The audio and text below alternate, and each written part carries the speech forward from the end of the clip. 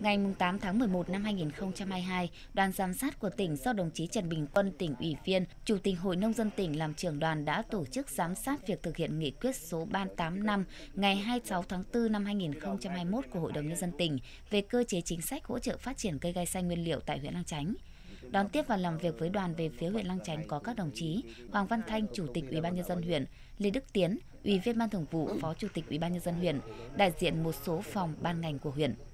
Đoàn đã đến thăm diện tích trồng cây gai xanh của hộ gia đình anh Mai Xuân Thao tại thôn Sơn Thủy, xã Tân Phúc. Với khoảng 1 hecta cây gai xanh đang trong giai đoạn sinh trưởng phát triển tốt, toàn bộ diện tích trồng cây gai xanh của gia đình anh Thao trước kia là đất ven đồi dốc, trồng các loại cây màu hiệu quả kinh tế thấp.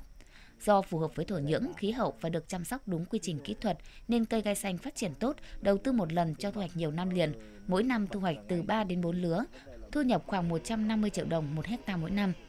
làm việc với Ủy ban Nhân dân huyện Lăng Chánh về việc thực hiện nghị quyết số 385 của Hội đồng Nhân dân tỉnh. Đoàn công tác đã được lắng nghe quá trình triển khai thực hiện và những thuận lợi khó khăn trong việc triển khai nghị quyết trên địa bàn huyện.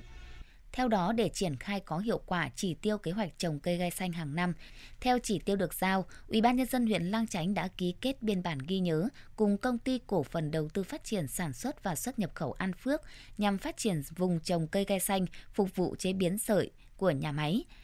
Để khuyến khích người dân chủ động trong việc chuyển đổi những cây trồng kém hiệu quả sang trồng cây gai xanh, Ủy ban nhân dân huyện đã trình Hội đồng nhân dân huyện ban hành cơ chế hỗ trợ phát triển cây gai xanh trên địa bàn huyện, trong đó hỗ trợ người dân trồng gai là 5 triệu đồng một hecta giai đoạn 2018-2020. Toàn huyện đã phát triển vùng trồng cây gai xanh lên 33,8 hectare. Tuy nhiên, từ năm 2021 đến năm 2022, kế hoạch phát triển cây gai xanh trên địa bàn huyện không đạt kế hoạch đề ra và có xu hướng giảm dần một phần do người dân chuyển sang trồng cây trồng khác, phần khác cây trồng ở những diện tích đất bị ngập nước, bị thối củ, giảm diện tích trồng. Năm 2021, huyện chỉ trồng đạt 13,5% kế hoạch giao. Diện tích phát triển cây gai xanh năm 2021 trên địa bàn huyện đến nay vẫn chưa thực hiện cơ chế, chính sách của tỉnh đối với phát triển cây gai xanh nguyên liệu do một số khó khăn vướng mắc về thủ tục hồ sơ, giấy tờ trong thanh lý hợp đồng giữa người dân với công ty An Phước. Đối với diện tích đã trồng năm 2022, hiện nay các xã thị trấn đang phối hợp với công ty cổ phần nông nghiệp An Phước hoàn thiện các thủ tục hồ sơ để thực hiện chính sách trong năm 2022. Tại buổi giám sát, các đại biểu đã tập trung thảo luận đưa ra các giải pháp nhằm tháo gỡ khó khăn vướng mắc trong phát triển cây gai xanh trên địa bàn, Đồng chí Lê Đức Tiến, Ủy viên Ban Thường vụ, Phó Chủ tịch Ủy ban nhân dân huyện mong muốn sẽ có thêm sự phối hợp đồng bộ nhịp nhàng hơn nữa giữa công ty cổ phần nông nghiệp An Phước với huyện và các hộ trồng cây gai xanh để việc triển khai đạt hiệu quả cao hơn, có sự liên kết bền vững hơn. Đồng thời kiến nghị tỉnh sẽ kéo dài thời gian thực hiện nghị quyết để huyện tiếp tục tháo gỡ những khó khăn vướng mắc trong việc giải quyết các thủ tục hành chính, hỗ trợ chính sách hiệu quả cho người dân trồng gai xanh.